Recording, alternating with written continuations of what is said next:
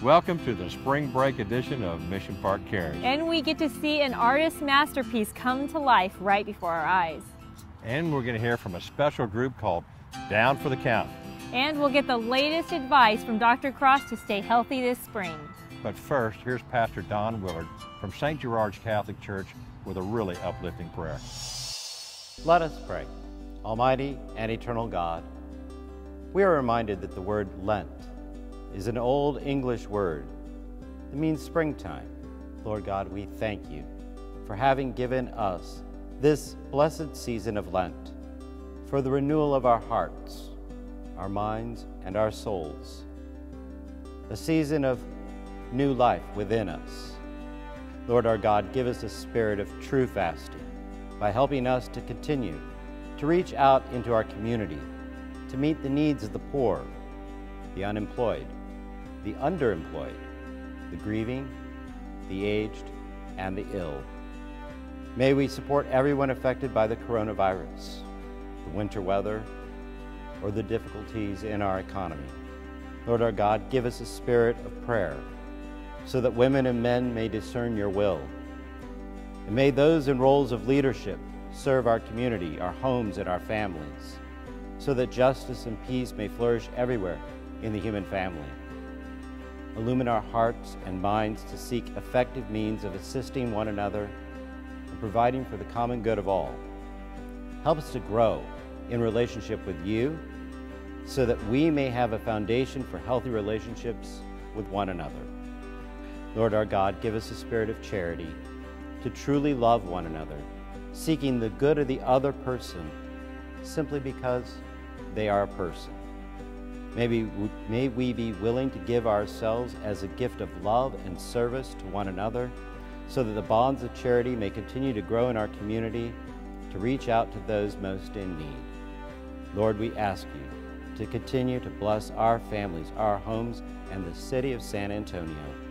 May Almighty God bless every person in the San Antonio area, the Father, the Son, and the Holy Spirit. Amen and we'll pay tribute to lives well lived. Bless the Lord, oh my soul, oh my soul, worship his holy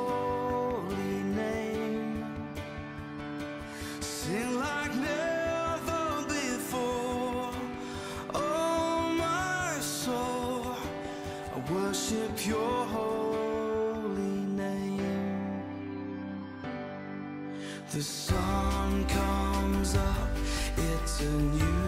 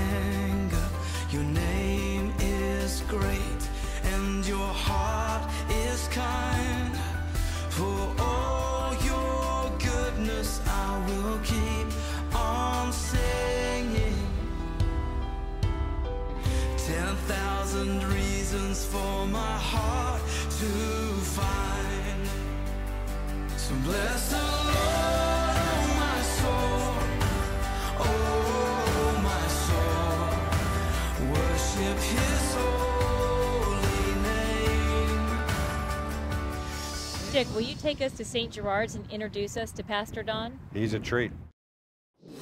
I'm with Father Don Willard at St. Gerard's Catholic Church. And Father Don, tell us a little bit about the story and the history of St. Gerard's, please, sir. Well, early on in San Antonio, around 1911, the right out here is where the trolley used to turn around, and the Redemptorists had been talking about starting a mission here in San Antonio to reach it out to the Catholics on this side of town. So we decided on this location because of where the trolley was, so it'd be easy for people to get here. And we also partnered them with the School Sisters in Notre Dame, and they founded the school across the way in 1912. So a lot of people in San Antonio, if you talk to them for more than five minutes, say, I know where St. Gerard's is. I had a family member that went to school there, and it's always been run by the Redemptorists ever since the very beginning. Father Don, tell us how you became a priest. I hear you have a pretty colorful and interesting background. I have a, yeah, I had several different jobs in my lifetime, but I was a stockbroker for a while, and then I ran a rental store in, in Florida for a while, and then, uh, you know, I, I, I had money. I, I was sitting in Colorado, and I just, I felt empty. And I was sitting on my couch, and I remember asking God, it's the first time I prayed in years, why am I not happy? And the only thing I could remember was, because I was raised in a, in a Protestant church by my grandma, the first time I ever preached when I was seven years old. And so I told God, I said, if you tell me where to go and you give me a way to get there, I'll go. That's when he sent me to Florida, and the next thing you know, I met a man who helped me become Catholic, and from there I went to Steubenville, and from there I ended up joining the Redemptorists, and no more than five years into being with the Redemptorists, I was president of Liguori Publications, and I was back in business again, but I was doing it for the Lord, and it was much more fulfilling. Obviously, you're the pastor here at St. Gerard's, but you were here 18 years ago? When I left Steubenville and wanted to join the Redemptorists, they thought, of course, that I needed some time with the community because the Redemptorists are sort of like the Franciscans or the Dominicans. Or it's a religious congregation within the Catholic Church. And so I was able to meet this community 18 years ago. And so it's been a real pleasure to come back here and meet some of the same people that I knew then that are still here today. Father Don, it's got to be extremely rewarding here to be at, a, at such a beautiful facility at St. Gerard's.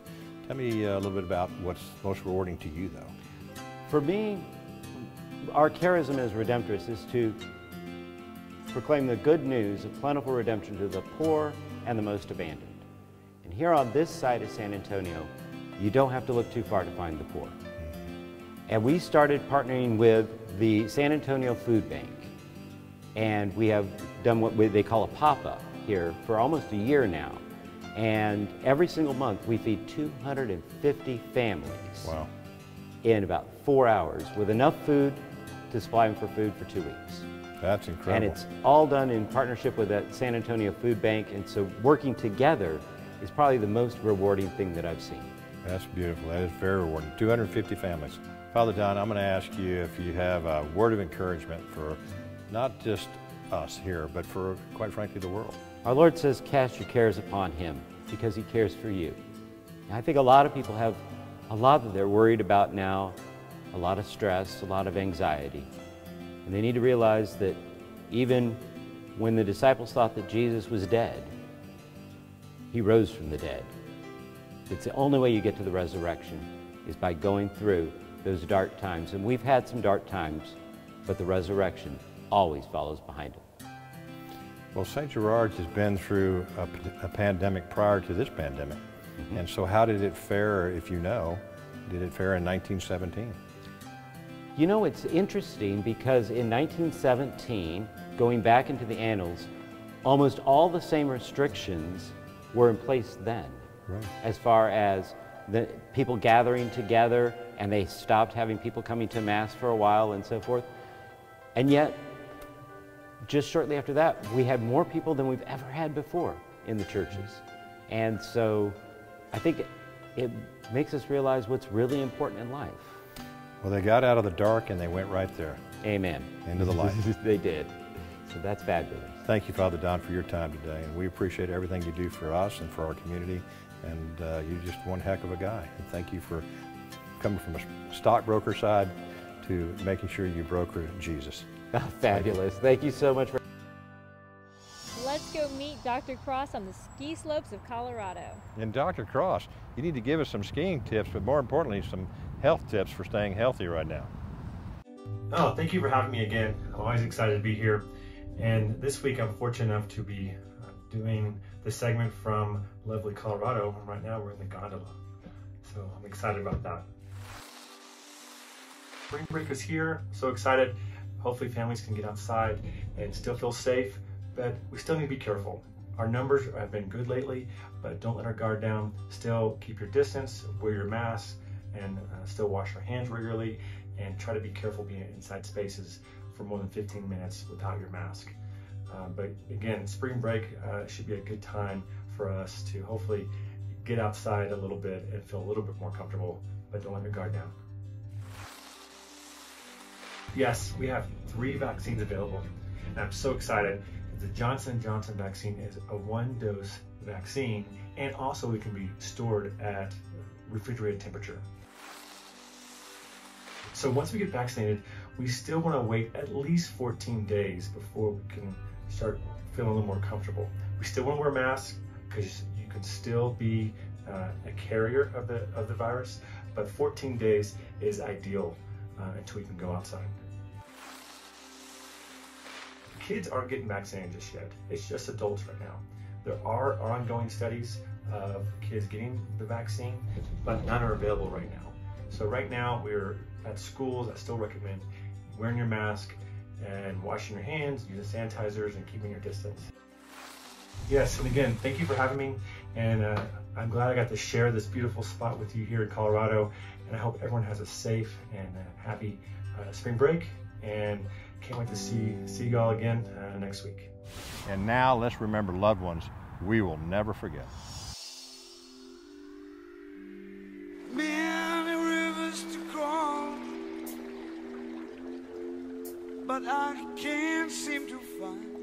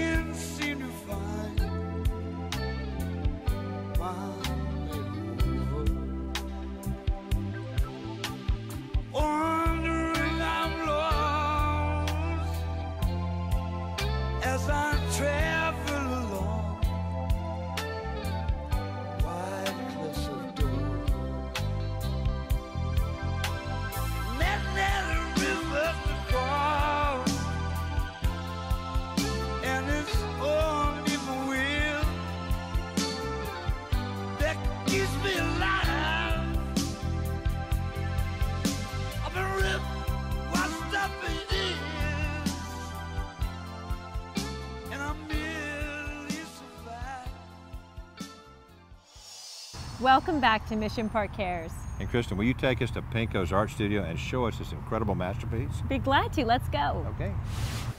We're here in the artist studio with Pinko. So excited to see this amazing, amazing piece of art that he is doing for the upcoming Texas Biomedical Forum auction. I mean, tell us how you make this creation. I love this. So I will kind of sketch out where I want my stones and how I want the piece to look. And then of course deciding on color is a big factor. After that is all decided, I start by laying down the stones and these are actually hand painted. I actually take these clear stones and I'll paint only one side of them, let them dry so when you flip them over, they look like they're a natural, natural red. So um, those are all laid down. I'm resin all that in. Um, start putting in some layers of some glitter, uh, some resin. And now I'm ready to pour the, the top layer and it's going to fill all this in. This will just be little hints of sparkle and, and two-tone underneath. Are you trying to create the look of a, of a specific type of stone? These are real rocks that Mm-hmm. I've outlined everything with. And then this is real glass that I have layered as well. So it has real glass, real stones. It's a combination of a little bit of everything. All right, so let's see the magic. Let's Okay. make some resin. Your resin is two parts. We mix the A part. This is a special piece, and I appreciate how fun that you're sharing your secrets with us, and we can see how it all comes to life. I mean, and, all of what's really amazing is, I mean, this is to help, you know, save the world from infectious diseases. I mean, that's just incredible the work the Texas Biomedical Research Institute does.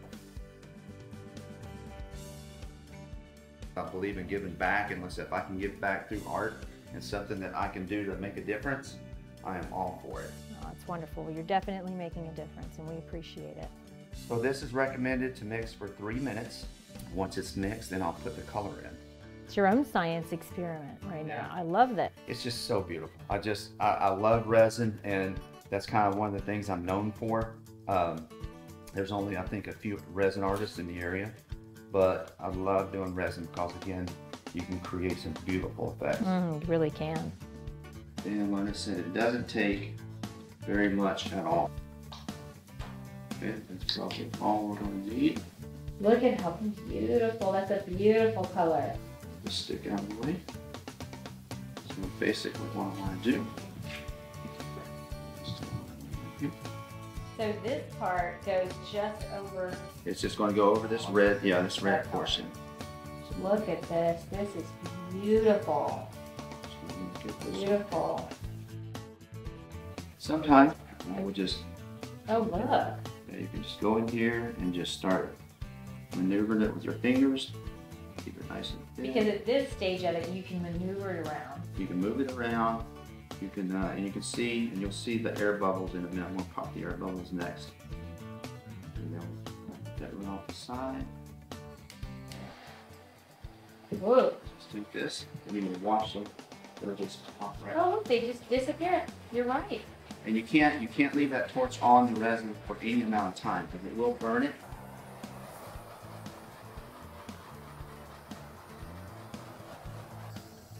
When it warms up, it spreads a lot easier it's easier to work with. Pinko, this is just starting to become a real masterpiece. It's just beautiful. Tell us a little bit about how you got involved in doing art and became an artist. We had moved to Myrtle Beach, South Carolina years ago, and I saw some murals in Myrtle Beach on the walls of some restaurants. And I'm like, wow, those are beautiful.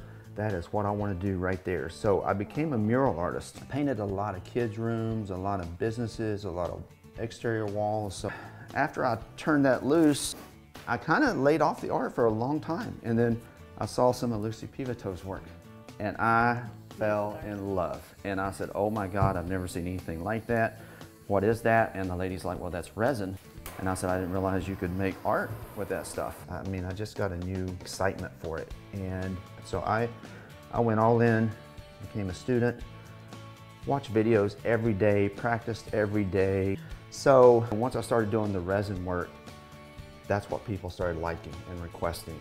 I have made everything from six inches to nine feet tall. How does somebody get a hold of you? Uh, I have a website, uh, pinkoart.com. Uh, I have an Instagram, pinkoart also, and they can just give me a call. My number is 210-209-6911. they can give me a call. Perfect. Good. This piece is absolutely magnificent. I'm so excited. I can't wait for it to go into the auction. Theforumgiving.com, you can see all about it. It's going to be on May 1st at Vogt Auction House. And Pinko, do we have a name for it yet? Not yet. I'm, st- I'm still thinking, but like I said, it, it'll come to me soon because, like I said, those reds are very striking, and it, it'll it'll hit me, I'm sure, in the next little while. We are so excited and we are so grateful for your contribution of saving the world, and, and we really appreciate it. Well, thank you so much. I, I really appreciate the invite, and I'm just honored to be a part of it. Thank you. Now here's Reverend Matt Wise to lift our spirits from St. Mark's Episcopal Church. And then we'll remember those we love. In these times of struggle nationally and globally, one of the prayers that has brought me the most comfort and has served as both a reminder and an inspiration to me is a prayer out of our Book of Common Prayer for the whole human family. Let us pray. O God, you made us in your own image and redeemed us through Jesus, your Son. Look with compassion upon the whole human family. Take away the arrogance and hatred which infect our hearts. Break down the walls that separate us. Unite us in bonds of love. And work through our struggle and confusion to accomplish your purposes on earth.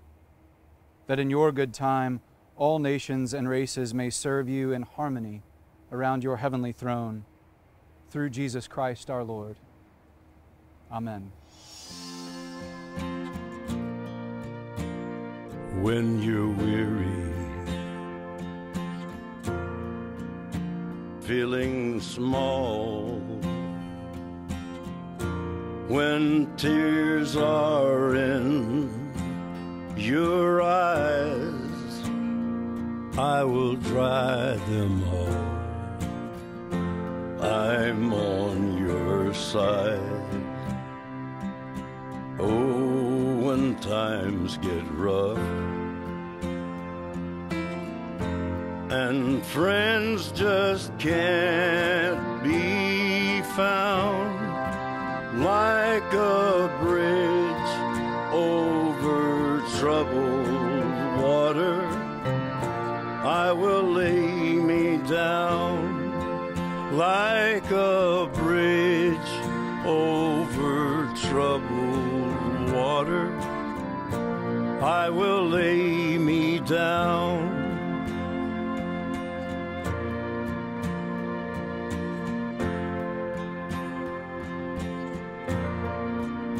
When you're down and out,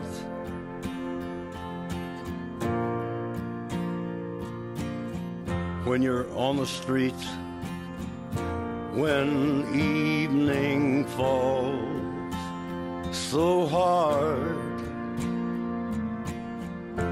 I will comfort you. I'll take your part. When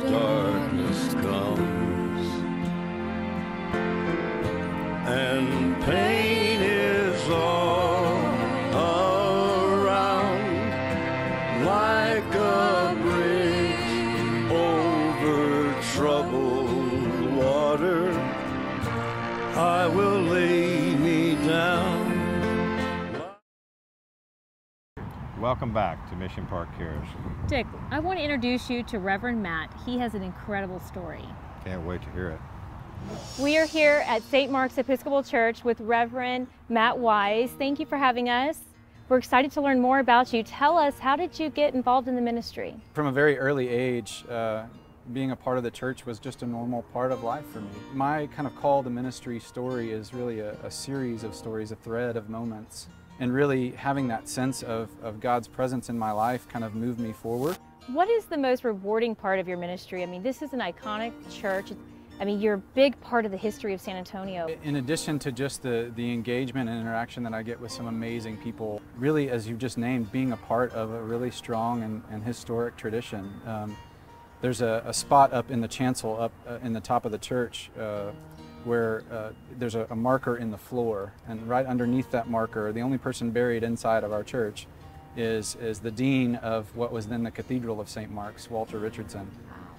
And every time I'm, I'm celebrating the Eucharist in there and it's, it's time for me to wash my hands with the acolyte, I try to, as best I can, stand on or near that marker as my own kind of physical, tangible reminder that I'm standing on the shoulder of so many other uh, ministers and people in this congregation, in this community who have who've come before me. So how has music played a role in, in your ministry and, and in your life personally? From a very early age, it's played a huge, significant role. My paternal grandmother sat me down at the piano and she played everything by ear and, and taught me how to do that at the piano at a very early age. And so ever since, I, I kind of hear, I hear things musically. Uh, and, and that ties into to my priesthood and my preaching and the way that I preach, I think, and the way that I speak publicly. I love that. Music is so therapeutic. It is. It's healing. No matter our differences, whether they be theological or political or cultural, we can all come together around really good music. And That's so right. that, there's something really godly about that. So the name of your band is Down for the Count. I mean, how did you get started and, and where did you find your group? A, a longtime friend and, and musical partner of mine, uh, Gene Dowdy, uh, was playing fiddle and violin with me. Um, we had a female vocalist, um, but that, that group kind of had its, had its shelf life and it was time to, to do something new and Zoe was moving on to other things in LA. And, uh, and I told Gene, I'm, I'm, not ready to quit this yet. I want to keep doing this. Uh, and he said, well, good. I don't either. Uh, I got some friends in the music department at UTSA at the time. He was the head of the music department there at UTSA came on and we started rehearsing together uh, and we've been playing together now for 11 years. What kind of music could we expect to hear from Down for the Count? What do they like to play? We're an Americana band. Uh, you'll hear lots of influence from country music, uh, specifically Texas country, kind of red dirt music. Mm -hmm. you'll hear influences from bluegrass. We love to take some uh, modern songs that are in pop music and, and do them our style, which is kind of more bluegrassy, more more country countrified, and so uh, it's a lot of fun. So yeah, that's that's kind of our style, our genre is that uh, kind of roots music.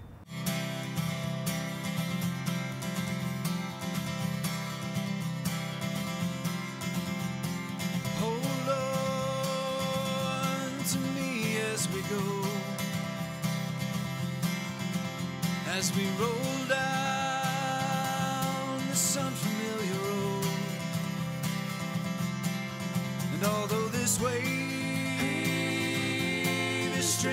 us along, just know you're not alone.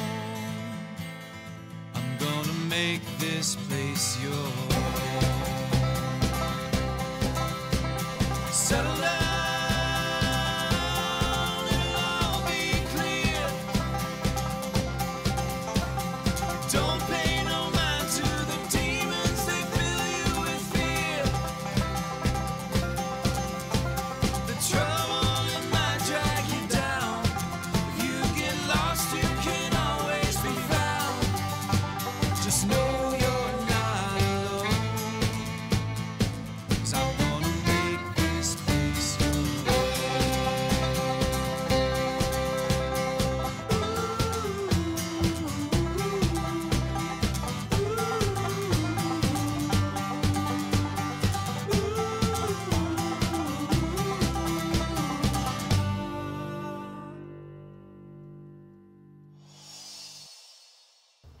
Matt, thank you so much for your time, your music, your ministry, everything that you do for our community. We really appreciate it.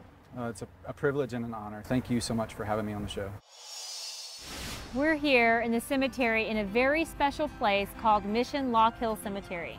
Dick, will you give us a little history about this beautiful place? I'd love to. It was 11 and a half to 12 miles away from the city limits when my father and grandmother got a call from the community of Lock Hill and the Eckerd family, the Gerfers family, the Judson family, they wanted to preserve this cemetery to never be developed. And the only way that that can happen, as you know, is to be a perpetual care cemetery. Then it's protected forever and ever and ever. As you know, our goal here is to turn this into a beautiful cremation cemetery all the way around, and your idea of having that cute little chapel up there mm -hmm. is probably one of the best I've ever heard. This really is a special place full of history. We want to thank you for joining us today on Mission Park Cares. We all hope that you have a very good and safe spring break and we'll see you next time.